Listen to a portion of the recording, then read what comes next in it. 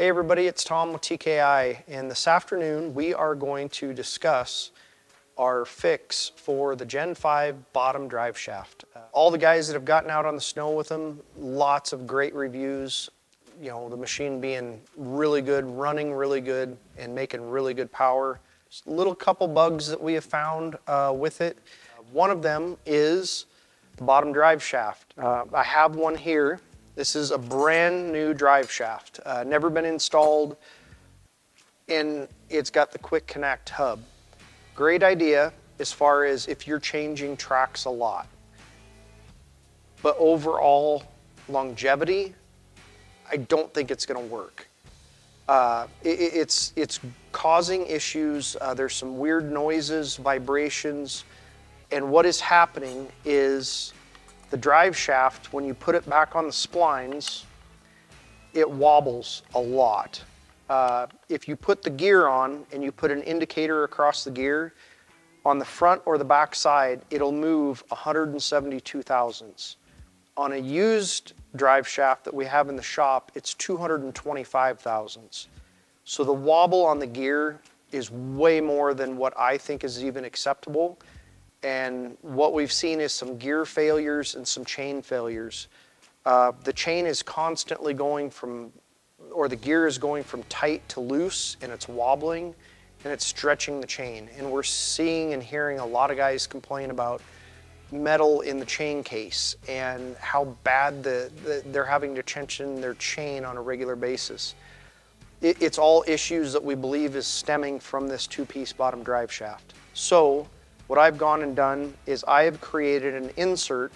Half of the drive shaft or half of the insert will go into, the silver part will go into the bottom drive shaft from the brake rotor side. Uh, so this insert unthreads. So, so the aluminum side of this insert will insert through the brake rotor side. So if you take the brake rotor cover off, there's a plastic plug in the end of the shaft on the rotor side and you'll take that out.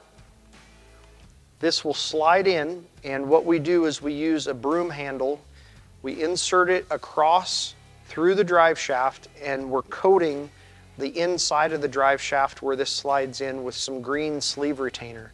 We're also putting some sleeve retainer on this insert.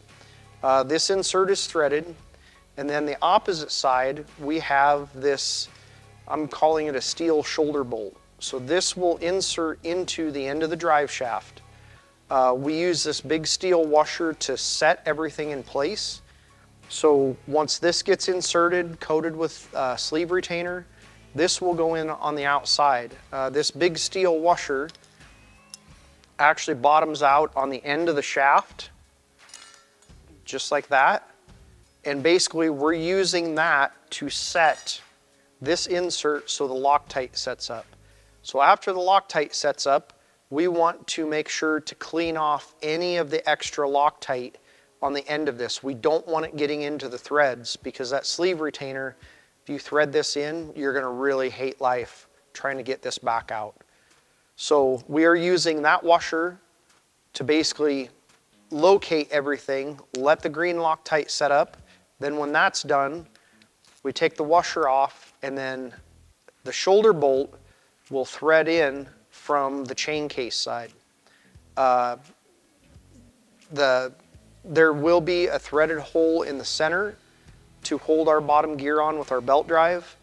And then for the chain case guys that don't run our belt drive, we actually have, see how fast I am? I'm quick as a cat. But we have this disc. So this disc has got your magnets on it. Well, this disc also has a hex machined on the inside that snaps right over the end of the shoulder bolt. So now this insert can be used in a chain case sled. None of the oil will leak through. The hole uh, does not go through on the, on the, the bolt and everything goes back together. Blue Loctite on the threads and with the 9 16 hex uh, on the end, torque it to 40 foot-pounds and it locks that bottom drive shaft together. You can get it undone if you have to change a track. You just have to loosen or take this shoulder bolt out. This will stay in the sled. Simple, easy setup. we've had it on the snow, we've got it on chain case sleds, we've got them on belt drive sleds, and it works awesome. It's taking the growling out of the chain case, it's taking the flex out of the chain case, and we're not seeing the chain stretch near as fast as what they were before we started doing this insert. So this will be up on the website. We'll start shipping early next week. But so yes, so these will be shipping. Uh, the chain case models will come inner sleeve, large washer, shoulder bolt, and a disc with your speed sensor magnets. Uh, for the belt drive version, it will just come with the aluminum sleeve, the washer, and the shoulder bolt. And then all of our stuff will bolt right in, use the center hole to bolt on our bottom gear.